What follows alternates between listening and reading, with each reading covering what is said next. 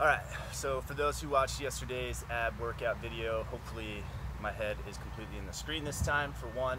And two, all my ab workouts are kind of just keep on moving. Uh, you can stick on an exercise for a while if you feel comfortable doing that exercise and you like that exercise, keep repeating it. It's more about just working your core constantly and keeping that time under tension. Um, I try to give plenty of options uh, and variations, and with this one, I'm going to be doing the opposite side. Uh, so I'm going to be up in a push-up position. So definitely shoulders, chest is all going to get worked as well. But um, you can put your hands up on a bench if you need to and do the entire thing from there. That's fine. It's your workout. Do you? Um, let's do it. Let's do it. So most important thing, never have that slant. Always vertical with the arms, shoulders over wrist. I like to put my elbow pits forward as much as possible. Creates external torque and kind of locks those shoulders in. Chest is never caving in. It's always up towards the sky or the ceiling. All right. We're gonna bring left knee, left elbow, and hold. Back out, crunch it in. Remember, you can be hands up on a bench if you need to. From here, I can either tick tock, hold, drop down, bring it back up, or I can bring it all the way out to the side. Whew. That one really hurts. All right, let's try to do that on the other side. So, right, hold a little bit, breathe.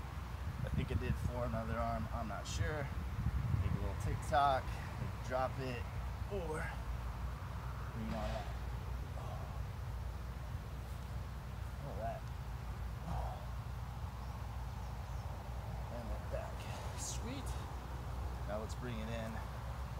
So knees are right underneath the hip, if you can see that.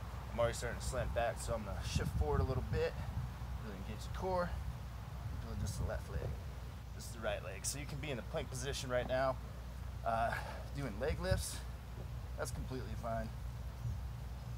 Pretty much the same thing. This one just shortens the lever arm, which means it's gonna put more on your core.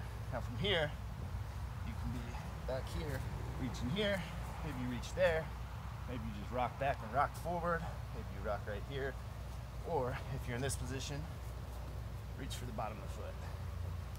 Now as I reach, whew, I'm getting grass everywhere. I'm trying not to shift all my weight, dump it over. I want to stay nice and square. There's a lock between these two opposite sides. Just stay stable. Go nice and slow. You're really gonna feel it. Or you can go a little bit faster if you like. All right. From here, I'm gonna take it back out. The way to push up position. Drop down to the forearms. Woo. Get a little break for the shoulders there, and then just seesaw motion. So I'm gonna let the shoulders come over the elbow, behind the elbow. And how I'm doing that is I'm rocking up on my toes. Back and forth. To the side. Now side planks can be done, knee on the ground, both legs stacked on top of each other. Uh, it doesn't really matter. The most important part is we keep that hip high and keep our chest square. So we don't want to be hunched over, we don't want to be slouched down. That keeps this engaged right here. From here, a lot of variations as well. You can take it all the way up onto the hand, or, and or, you can bring the leg up, place it somewhere inside the thigh, you can hang it out up here, you can kick it. We're just gonna hold. I like this style. Whew, because I really think about getting that hip up, up. Whew. Uh, no idea how the hold was, so you don't have to stare at my butt. Even though some of you might, I don't know what you're into. I'm gonna turn this way. Yeah.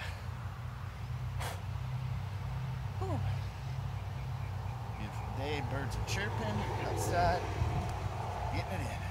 That's what it's all about. I love it. I love it. Let's bring it back to push-up position. All right. At any point, you can drop out. Shake your arms out. That's fine. Remember, this is your workout. Nobody else's. All right. Nice wide base here. Now, we're gonna tap, hold, down, tap, hold, good, tap, hold, tap, hold, tap, hold, tap, hold, good. Reach, reach, reach. You might still be tapping the shoulders if you can't reach. Maybe you can tap anywhere along the path. That is always your choice. So bring the knees back here. Now, so for this one, you can stay with all those options before, or lift the foot, spin up on the ball of the toe, keep that active, rotate through all the way over. So from here, really active. I'm keeping my shoulders over my wrists, keeping my shoulders down away from my ears. I'm keeping that lower back. Whew. Nice and tight, core stays tight. And go in the reverse direction. So lift the right, swoop it through, I keep that leg nice and low. How I like it. And then other side. So ball of the foot, shin drags across the ground, and boom, checking the position. Shoulders are proud, away from the ears, over the wrists. Try to keep that tummy tucked back through. Let's go a little faster. I'm gonna barely tap. Trying to keep that. Whew. Maybe you're back, still doing toe taps. That is fine. All right. That's everywhere today. Let's get into a little bit faster. So I'm gonna go opposite knee, opposite elbow, nice and quick. To call these cyclones.